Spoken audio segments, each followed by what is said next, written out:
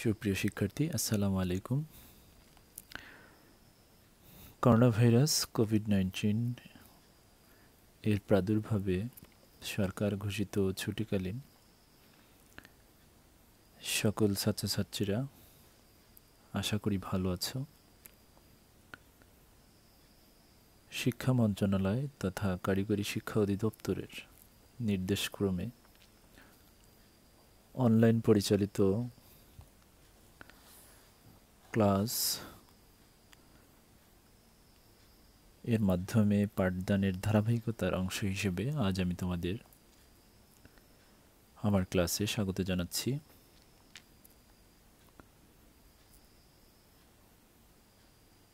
তোমাদের সাথে আমি মোহাম্মদ মিজানুর রহমান খান, রসায়ন শিক্ষক, সরকারি technical school and college Madaripur. আজ আমি তোমাদের দশম শ্রেণির রসায়ন বিজ্ঞানের পঞ্চম অধ্যায় নিয়ে আলোচনা করব। আমাদের পঞ্চম অধ্যায়ের নাম হচ্ছে রাসায়নিক বন্ধন। এই অধ্যায় আমরা পাঠ করলে যা কিছু শিখব তার মধ্যে বন্ধন কি? এর প্রকারভেদগুলো আমরা বলতে পারব। বন্ধন গঠনের কারণ ব্যাখ্যা করতে পারব। আয়নিক বন্ধন গঠন ব্যাখ্যা করতে পারব। চিত্রসহ বন্ধন তৈরির কৌশলগুলো বিশ্লেষণ করতে পারব। এবার চিত্রে আমরা একটি বিভিন্ন মৌলের পরস্পরের সাথে আবদ্ধভাবে একটি যৌগ দেখতে পাচ্ছি। এই যৌগটি তৈরির ক্ষেত্রে একাধিক মৌল অংশগ্রহণ করেছে, তারই একটি চিত্র আমরা দেখতে পাচ্ছি। এখন আমরা প্রথমে শিখব বন্ধন কাকে বলে। বন্ধন হচ্ছে যে আকর্ষণ বলের মাধ্যমে অণুতে পরমাণুসমূহ পরস্পরের সাথে যুক্ত হয় তাকেই আমরা বন্ধন বলে থাকি। আমরা আবার একটু যদি ফলো করি, যে আকর্ষণ বলের মাধ্যমে বা যে শক্তির মাধ্যমে একটা অণুর মধ্যে পরমাণুগুলো একে অপরের সাথে বা পরস্পরের সাথে যেভাবে যুক্ত হয়, যার মাধ্যমে যুক্ত হয়, তাকেই আমরা বন্ধন বলতে পারি। যদি আমাদেরকে বলা হয় রাসায়নিক বন্ধন কি, তবে আমরা সেটা সংজ্ঞাটা ঠিক এভাবে দিতে পারি। যে আকর্ষণ বলের মাধ্যমে দুটি একই বা ভিন্ন মৌলের পরমাণুসমূহ পরস্পরের সাথে যুক্ত হয়ে যে অনুগঠন করে তাকে রাসায়নিক বন্ধন বলে। এবার হয়তো তোমরা বলতে পারো বন্ধন এবং রাসায়নিক বন্ধন উভয়ের সংজ্ঞা তো একই। হ্যাঁ শিক্ষার্থীরা, আমরা বন্ধন কাকে বলে এবং রাসায়নিক বন্ধন কাকে বলে, দুইটি বিষয় একই। অর্থাৎ আমরা রাসায়নিক বন্ধনটাকে সংজ্ঞায়িত করতে গেলে একটু বিস্তারিতভাবে বলি যে যে আকর্ষণ বলের মাধ্যমে দুইটি একই একই পরমাণু হতে পারে অথবা ভিন্ন ভিন্ন পরমাণু হতে পারে। ভিন্ন ভিন্ন মৌলের পরমাণুসমূহ একজন আরেকজনের সাথে, একে অপরের সাথে যুক্ত হয়ে যে অণুগুলো গঠন করে, তাকে আমরা রাসায়নিক বন্ধন বলতে পারি। এবার রাসায়নিক বন্ধনের প্রকারভেদগুলো আমরা জানব। আমরা জানি রাসায়নিক বন্ধনের প্রকারভেদগুলো হচ্ছে আয়নিক বন্ধন, সমযোজী বন্ধন এবং ধাতব বন্ধন। আজ আমি তোমাদের প্রথম যে বন্ধনটি আছে, আয়নিক বন্ধন, সেই বন্ধন নিয়ে আমার ক্লাসে আলোচনা করব। আয়নিক বন্ধন। আয়নিক বন্ধনটা কি? আগে আমরা তার সংজ্ঞাটা জেনে নিই। দুই বা ততোধিক ভিন্ন মৌলের পরমাণু নিজেদের মধ্যে ইলেকট্রন আদান প্রদানের মাধ্যমে গঠিত ক্যাটায়ন এবং অ্যানায়ন সমূহ যে আকর্ষণ বল দ্বারা যৌগের অণুতে আবদ্ধ থাকে, তাকেই আয়নিক বন্ধন বলে। আমি আবারও বলছি, দুই বা ততোধিক ভিন্ন মৌল। ভিন্ন মৌলের যে পরমাণুগুলো আছে, তাদের নিজেদের মধ্যে ইলেকট্রন আদান প্রদান, তার মানে একটি পরমাণু ইলেকট্রন দেবে, প্রদান করবে ঠিক ওই পরমাণুটি গ্রহণ করার জন্য আরও একটি পরমাণু অবশ্যই সেই জায়গায় উপস্থিত থাকতে হবে। তার মানে আদান এবং প্রদানের মাধ্যমে যে প্রদান করবে, সে ক্যাটয়নে রূপান্তরিত হবে এবং যে গ্রহণ করবে, সে অ্যানয়নে পরিণত হবে। এই ক্যাটায়ন এবং অ্যানায়ন সমূহ যে আকর্ষণ বল দ্বারা এদের মধ্যকার একটি আকর্ষণ বল তৈরি হবে। সেই আকর্ষণ বল দ্বারা যোগের অণুতে তারা যে যৌগটি তৈরি করবে, সেই যৌগটির মধ্যে একে অপরের সাথে যে আকর্ষণ দ্বারা তারা আবদ্ধ থাকবে তাকে আমরা আয়নিক বন্ধন বলব। আমরা একটি চিত্র ফলো করি যে কীভাবে ইলেকট্রন আদান এবং প্রদান বা শেয়ারিং সম্পন্ন হয়। আমরা বাম পাশে দেখতে পাচ্ছি একটি পরমাণুর মধ্যে ইলেকট্রন সমূহ তার বিভিন্ন কক্ষপথে সজ্জিত আছে এবং তার ডান পাশে আরেকটি পরমাণুর। আরেকটি মৌলের যে পরমাণু, তার ইলেকট্রনসমূহ ঠিক একইভাবে সজ্জিত আছে। যখন বাম পাশের পরমাণুটি তার সর্বশেষ কক্ষপথ থেকে একটি ইলেকট্রন দান করবে, ঠিক তার পাশেই আরেকটি পরমাণু সেই ইলেকট্রনটি গ্রহণ করার মাধ্যমেই একে অপরের সাথে একটি বন্ধন বন্ধন তৈরি করে এবং সেই বন্ধনটার নামই হচ্ছে গিয়ে আয়নিক বন্ধন। এই আয়নিক বন্ধন যদি আমরা একটি পরমাণু ক্ষেত্রে বিবেচনা করি, অর্থাৎ যদি পরমাণুটাকে ধরি হচ্ছে সোডিয়াম, আমরা জানি সোডিয়ামের পারমাণবিক সংখ্যা হচ্ছে এগারো। অর্থাৎ তার সর্বশেষ কক্ষপথে। আমরা যদি ইলেকট্রন বিন্যাস করি, তাহলে তার তিনটি কক্ষপথ রয়েছে। প্রথম কক্ষপথে দুইটি, দ্বিতীয় কক্ষপথে আটটি এবং তার সর্বশেষ কক্ষপথ, অর্থাৎ তার যোজ্যতা স্তরে একটি ইলেকট্রন আছে। সেই একটি ইলেকট্রনকে সে ছেড়ে দিয়ে তার নিকটবর্তী যে নিষ্ক্রিয় গ্যাস, নিউনের মতো সেই ইলেকট্রন বিন্যাস লাভ করতে চায়। সেজন্যেই তার সর্বশেষ কক্ষপথ থেকে একটি ইলেকট্রনকে সে দান করতে চায় বা প্রদান করতে চায়।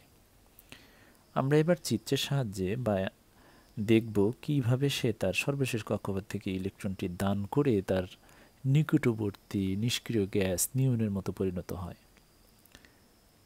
মাত্রই আমরা দেখলাম সোডিয়ামের সর্বশেষ কক্ষপথ থেকে ইলেকট্রনটি সে ছেড়ে দিল এবং সে যখন ছেড়ে দিল তখন সে ছেড়ে দেওয়ার মাধ্যমে সে নিয়নের মতো ইলেকট্রন বিন্যাস লাভ করল। ঠিক একইভাবে আরও একটি পরমাণু, যদি আমরা ক্লোরিনকে বিবেচনা করি, ক্লোরিনের পারমাণবিক সংখ্যা হচ্ছে সতেরো এবং তার তিনটি কক্ষপথ রয়েছে। প্রথম কক্ষপথে দুইটি, দ্বিতীয় কক্ষপথে আটটি এবং তৃতীয় কক্ষপথে সাতটি ইলেকট্রন। মোট তার সতেরোটি ইলেকট্রন রয়েছে। তার যোজ্যতা স্তরে ষাটটি ইলেকট্রন যখন বর্তমান থাকে, সে একটি ইলেকট্রন গ্রহণ করতে চায় এবং সেই গ্রহণ করার মাধ্যমে সে তার নিকটবর্তী নিষ্ক্রিয় গ্যাস আর্গনের মতো ইলেকট্রন বিন্যাস লাভ করতে চায়। ঠিক আমরা একইভাবে লক্ষ্য করি, তার সর্বশেষ কক্ষপথে ষাটটি ইলেকট্রন রয়েছে। সেই ইলেকট্রন সোডিয়ামের দ্বারা প্রদানকৃত সেই ইলেকট্রনটি ক্লোরিন গ্রহণ করে। আমি তোমাদের বিষয়টি আবারও দেখাচ্ছি। সোডিয়ামের দ্বারা প্রদানকৃত সেই ইলেকট্রনটি ক্লোরিনের সর্বশেষ কক্ষপথে ঠিক এভাবে এসে যুক্ত হয়। তখন তার সতেরোটির সাথে আরও একটি ইলেকট্রন যুক্ত হয়ে সে আঠারোটি ইলেকট্রন লাভ করে, অর্থাৎ সে তখন আর্গন, আর্গনের মতো ইলেকট্রন বিন্যাস লাভ করে। ঠিক এভাবেই সোডিয়াম একটি ক্লোরিন পরমাণু একে অপরের সাথে একটি ইলেকট্রন শেয়ারের মাধ্যমে আমরা ভিডিও ক্লিপটি ফলো করি সোডিয়ামের সর্বশেষ কক্ষপথ থেকে নীল রঙের যে ইলেকট্রনটি, ডান পাশে ঠিক ক্লোরিনের যে ক্লোরিনের যে পরমাণুটি আছে, তার সর্বশেষ কক্ষপথে ইলেকট্রনটি কীভাবে দান করছে? আমরা একটু সবাই ফলো করি। ঠিক এভাবে গিয়ে ক্লোরিনের সর্বশেষ কক্ষপথে ইলেকট্রনটি যুক্ত হয়ে সোডিয়াম পরিণত হয় নিয়নের মতো, ক্লোরিন পরিণত হয় আর্গনের মতো এবং তাদের সর্বশেষ কক্ষপথে অষ্টক পূর্ণ করে তারা একে অপরের সাথে যুক্ত হয়ে যে যৌগটি গঠন করে, সেই যৌগটি হয় সোডিয়াম ক্লোরাইড এবং তারা একে অপরের সাথে যে বন্ধন দ্বারা যুক্ত হলো, সেই বন্ধনটির নাম হচ্ছে আয়নিক বন্ধন। ঠিক যখন সোডিয়াম তার একটি ইলেকট্রন ছেড়ে দিল, তখন সে ক্যাটায়নে পরিণত হয় এবং ক্লোরিন যখন একটি ইলেকট্রন গ্রহণ করল, তখন সে ঋণাত্মক আয়ন তথা অ্যানায়নে পরিণত হয়। অর্থাৎ আমরা বুঝতে পারলাম যে সকল মৌলসমূহ ইলেকট্রন দান করে, প্রদান করে, তারা ধনাত্মক আয়নে পরিণত হয় এবং যে সকল পরমাণুসমূহ ইলেকট্রন গ্রহণ করে, তাদের তারা ঋণাত্মক আয়নে পরিণত হয় এবং তাদেরকে অ্যানায়ন বলা হয়। অর্থাৎ, যখনই কোনো আয়নিক বন্ধন তৈরি করতে হয়, অবশ্যই তারা অ্যানায়ন এবং ক্যাটায়নে পরিণত হয় এবং অ্যানায়ন এবং ক্যাটায়নের মাধ্যমেই তারা যে যৌগটি গঠন করবে, সে যৌগটি হবে হচ্ছে আয়নিক বন্ধন। এবার আমাদের প্রশ্ন আসে, ক্যাটায়ন জিনিসটা কি? ক্যাটায়ন হচ্ছে, আমি ইতিপূর্বেই বলে বলে দিয়েছিলাম এরপর আবার বলছি, ধনাত্মক আধানযুক্ত পরমাণুকে ক্যাটায়ন বলে। যেমন আমরা জানি গ্রুপ ওয়ান এবং গ্রুপ টুতে, গ্রুপ ওয়ানে যে সকল খাট ধাতু এবং গ্রুপ টুতে যে সকল মৃৎক্ষার ধাতু রয়েছে, তারা সকলেই ইলেকট্রন দান করতে সক্ষম, শুধু হাইড্রোজেন ব্যতীত। এবং একইভাবে অ্যানায়নের ক্ষেত্রেও গ্রুপ ষোলো এবং সতেরোতে অবস্থিত হ্যালোজেন গ্রুপের মৌলসমূহ তারা ইলেকট্রন গ্রহণ করার প্রবণতা তাদের দেখা যায়। ঠিক সেই দিক বিবেচনা করে আমরা বলতে পারি যে ধনাত্মক আধানযুক্ত পরমাণুগুলোকে ক্যাটার্ন বলা হয়। গ্রুপ ওয়ান এবং গ্রুপ টু এ অবস্থিত যে মৌলগুলো রয়েছে, গ্রুপ ওয়ানে lithium, sodium, potassium, rubidium, caesium, francium এবং গ্রুপ টুতে beryllium, magnesium, calcium strontium barium এবং রেডিয়াম এই সকল মৌলসমূহ ইলেকট্রন ত্যাগ করে। অর্থাৎ ইলেকট্রন ত্যাগের মাধ্যমে তারা ধনাত্মক আয়নে পরিণত হয় এবং সেই ধনাত্মক আয়নসমূহকেই আমরা ক্যাটায়ন বলব। এবং একইভাবে আমাদের গ্রুপ সতেরোতে যে সকল মৌলগুলো রয়েছে, এর মধ্যে fluorine, chlorine, bromine, iodine astatine হ্যাঁ টেনেসাইন এবং গ্রুপ ষোলোতে কিছু মৌল রয়েছে যেমন অক্সিজেন, সালফার সেলেনিয়াম, এই সকল মৌলগুলোকে আমরা ঋণাত্মক আয়নে পরিণত হতে দেখি। অর্থাৎ এই সকল মৌলসমূহ ইলেকট্রন গ্রহণ করার মাধ্যমেই তারা ঋণাত্মক আয়নে পরিণত হয়। এবার আমরা একটু ফলো করি যে একটু আগেই যা শিখলাম যে সোডিয়াম ইলেকট্রন একটি ইলেকট্রন দান করে এবং ক্লোরিন একটি ইলেকট্রন গ্রহণ করে। এইভাবে অসংখ্য পরমাণু তাদের মধ্যে, নিজেদের মধ্যে ইলেকট্রন আদান প্রদানের মাধ্যমে একটি বড় আকারের আণবিক গঠন তারা তৈরি করে। আমরা তারই চিত্র দেখতে পাচ্ছি। সোডিয়াম ক্লোরাইডের একটি ক্রিস্টাল স্ট্রাকচার আমরা এই জায়গায় দেখতে পাচ্ছি।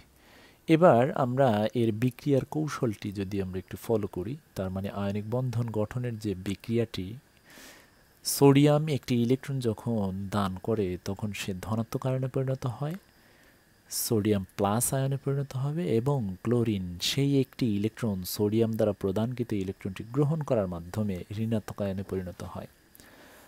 তখন তারা একে অপরের সাথে বন্ধন গঠন করে একটু ফলো করো, যে যৌগটি তৈরি করেছে তা হচ্ছে সোডিয়াম ক্লোরাইড এনএসিএল আমি তোমাদের বোঝার স্বার্থে প্রত্যেকটি মৌলকে যে রঙে উপস্থাপন করেছি, তার মানে সোডিয়ামটা হচ্ছে গিয়ে এন এ অর্থাৎ সে হচ্ছে ধাতু, এবং ক্লোরিনটা হচ্ছে সিএল সে হচ্ছে অধাতু। ধাতুর সাথে একটি অধাতু যুক্ত হয়ে যে বন্ধন গঠন করে, তাকে বলা যায় আয়নিক বন্ধন। আমরা এটাকে সূত্র হিসেবেও ব্যবহার করতে পারি, যে ধাতুর সাথে অধাতুসমূহ যুক্ত হয়ে যে যৌগ বা যে বন্ধন গঠন করে, তাকেই আয়নিক বন্ধন বলা হয়। এবার আমরা দলগত একটি কাজ করব। সেই দলগত কাজটি আমরা একটু ফলো করি, যে নিচের মৌলদয়ের চিত্রগুলো তোমরা তোমাদের খাতায় অঙ্কন করবে। প্রথম যে চিত্রটি বাম পাশে আমি উপস্থাপন করছি, সেটি হচ্ছে সোডিয়াম। তোমরা জানো যে সোডিয়ামের পারমাণবিক সংখ্যা হচ্ছে এগারো। তার প্রথম কক্ষপথে দেখতে পাচ্ছ দুইটি ইলেকট্রন এবং তার দ্বিতীয় কক্ষপথে আটটি ইলেকট্রন এবং সর্বশেষ কক্ষপথে একটি ইলেকট্রন। তার পারমাণবিক সংখ্যা মোট পারমাণবিক সংখ্যা হচ্ছে এগারো। একই সাথে তার পাশেই অবস্থিত যে মৌলটি রয়েছে সে মৌলটি হচ্ছে ফ্লোরিন। তার পরমাণু সংখ্যা হচ্ছে নয়। প্রথম কক্ষপথে তার দুইটি এবং দ্বিতীয় কক্ষপথে তার সাতটি ইলেকট্রন রয়েছে। এই যৌগটি কীভাবে এই দুইটি মৌল একে অপরের দুইটি মৌলের যে পরমাণু রয়েছে, তারা একে অপরের সাথে কীভাবে বন্ধন গঠন করে, সে প্রক্রিয়াটি তোমরা অবশ্যই নিজেরা করার জন্য চেষ্টা করবে। তারপরেও আমি তোমাদের সুবিধার্থে বিষয়টিকে একটু বুঝিয়ে দেওয়ার জন্য আমি একটি চিত্র উপস্থাপন করছি। তোমরা দেখতে পাচ্ছ, বাম পাশে ঠিক সোডিয়াম পরমাণুটি রয়েছে এবং ডান পাশে ঠিক ফ্লোরিন পরমাণুটি রয়েছে। সোডিয়াম পরমাণুর সর্বশেষ যে কক্ষপথটি ছিল, সেই কক্ষপথ থেকে একটি ইলেকট্রন দেখতে পাচ্ছ, ঠিক এভাবে নীল ইলেকট্রনটি গিয়ে ফ্লোরিনের সর্বশেষ কক্ষপথে। প্রদান করল এবং সোডিয়াম, তার সর্বশেষ কক্ষপথ যখন তৃতীয় কক্ষপথ থেকে একটি ইলেকট্রন প্রদান করে দিল, তখন তার ইলেকট্রন প্রদান করার সাথে সাথেই তার সর্বশেষ সেলটি বিলুপ্ত হয়ে যায়। অর্থাৎ তখন সে দুইটি কক্ষপথ বিশিষ্ট। নিয়নের মতো, নিয়ন অর্থাৎ নিষ্ক্রিয় গ্যাস নিয়নের মতো তার ইলেকট্রন বিন্যাস লাভ করে এবং সে ইলেকট্রন দান করার মাধ্যমে ধনাত্মক আয়নে পরিণত হলো। একইভাবে তার পাশেই ফ্লোরিন তার সর্বশেষ কক্ষপথে সাতটি ইলেকট্রন ছিল। সোডিয়াম দ্বারা প্রদানকৃত ইলেকট্রনটি তার সর্বশেষ কক্ষপথে এসে যুক্ত হওয়ার সাথে সাথেই তখন তার ইলেকট্রন আটটি ইলেকট্রনে পরিণত হলো এবং তখন সে ঋণাত্মক আয়নে অর্থাৎ অ্যানায়নে পরিণত হলো। ঠিক এভাবেই তারা যুক্ত হয়ে একে অপরের সাথে যে যৌগটি গঠন করবে সেই যৌগটি হচ্ছে সোডিয়াম ফ্লোরাইড। এবার আমরা যা যতটুকু শিখলাম, আমরা একটু তা মূল্যায়ন করব। প্রথমে আমরা শিখে নিলাম বন্ধন কাকে বলে। এরপরেই শিখলাম রাসায়নিক বন্ধন কি। আমাদের পরীক্ষায় বিশেষত অনেক সময় বন্ধন কাকে বলে বা বন্ধন কি এবং অনেক সময় আবার রাসায়নিক বন্ধন কি ভিন্ন ভিন্ন আকারে প্রশ্নে আসে। অর্থাৎ সেজন্যই আমি দুই দুইটি বিষয়কে আমি আলাদা আলাদাভাবে উপস্থাপন করলাম। তোমরা জেনে রেখো, বন্ধন যে, বন্ধনের যে সংজ্ঞা এবং রাসায়নিক বন্ধনের যে সংজ্ঞা, দুইটি সংজ্ঞা একই এবং একই রকম। অর্থাৎ এরপরে আমরা শিখেছিলাম যে রাসায়নিক বন্ধনের প্রকারভেদগুলো। রাসায়নিক বন্ধনের, আজ আমি তোমাদের প্রথম প্রকারভেদটি আলোচনা করলাম। সেই প্রথম প্রকারটি ছিল হচ্ছে আয়নিক বন্ধন। হ্যাঁ আমরা আয়নিক বন্ধন কি এবং এর বন্ধন গঠন প্রক্রিয়াটি সম্পর্কে আজ বিস্তারিত আলোচনা করলাম। এর পরবর্তীতে ক্যাটায়ন কীভাবে গঠিত হয় আমরা সেটা নিয়ে আলোচনা করেছি। এর পরবর্তীতে আমরা অ্যানায়ন কীভাবে গঠিত হয় তা নিয়েও আলোচনা করলাম। আমরা যতটুকু পাঠদান সম্পন্ন করলাম আজ, তোমরা বাড়িতে বসে আরও যে সকল মৌলগুলোর নাম আমি উপস্থাপন করলাম, তাদের মধ্য থেকে আমি দুইটি যৌগ গঠন প্রক্রিয়া তোমাদের সবার কাছে থেকে প্রত্যাশা করছি। তোমরা বাসায় সবাই প্র্যাকটিস করবে। প্রথমটি হচ্ছে সোডিয়াম ফ্লোরাইডের যে যৌগটি গঠন হয়, সেই গঠন প্রক্রিয়াটা তোমরা চিত্রসহ ব্যাখ্যা করা, এটা শিখবে এবং এরই সাথে ক্যালসিয়াম অক্সাইড এর বন্ধন গঠন কৌশলটি ও সচিত্র ব্যাখ্যা তোমরা শিখে নেবে। এবং এই কাজটি তোমরা বাসায় সম্পন্ন করে তোমাদের খাতায় সংরক্ষণ করবে। আমাদের এই মহামারীর এই পরিস্থিতি উত্তরণের সাথে সাথে যখনই আমাদের ক্লাস ওপেন হবে, ঠিক সে মুহূর্তে আমরা ক্লাসে এই বিষয়গুলোকে যাচাই করব যে কে কে আমার ক্লাসটি সম্পন্ন করেছে এবং ক্লাসের কাজগুলো সঠিকভাবে সম্পন্ন করে রেখেছে। যদি আমরা সঠিকভাবে সম্পন্ন করি, তাহলে আমাদের এই মহামারীর এই সময়টি আমাদের হেলফেলায় না কাটিয়ে আমাদের শিক্ষাদানের মাধ্যমে আমাদের শিক্ষা কার্যক্রম অব্যাহত থাকবে।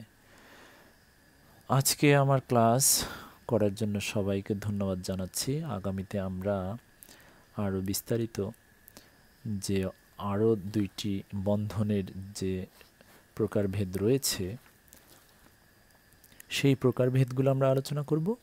তার মধ্যে রয়েছে সমযোজী বন্ধন, এরপরে রয়েছে ধাতব বন্ধন ঠিক একইভাবে, ধারাবাহিকভাবে আমরা আমাদের ক্লাসগুলো চালিয়ে যাব।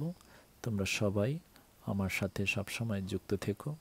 যদি কোনো প্রশ্ন থাকে, অবশ্যই কমেন্টসে আমার আমার নিকট প্রশ্নগুলো করবে এবং যদি তোমরা চাও আরও বিস্তারিত জানার জন্য, আরও অন্যান্য যে সকল মাধ্যম আছে, সে মাধ্যমে আমার সাথে যোগাযোগ করবে, অবশ্যই আমি তোমাদেরকে সকল বিষয়ে আরও বিস্তারিত বোঝানোর জন্য চেষ্টা করবে ইনশাল্লাহ তা আজ এই পর্যন্তই। সবাই তোমরা ভালো থাকো এবং মহামারীর এই সময়ে সামাজিক দূরত্ব বজায় যেভাবে এই মহামারীর দ্বারা আমরা একে অপরে যেন আক্রান্ত না হই, যেন এই রোগটি যেন বাহক হিসেবে আমরা যেন কাজ না করি, বারবার হাত ধোবো এবং যে আমাদের কার্যকলাপগুলো যা আছে সেগুলো সঠিকভাবে স্বাস্থ্যবিধি মেনে চলব। তো সবাই ভালো থেকো। তো সেই শুভকামনা রেখেই আজকে আমার ক্লাস শেষ করছি। আল্লাহ হাফেজ। আসসালামু আলাইকুম রহমতুল্লাহ।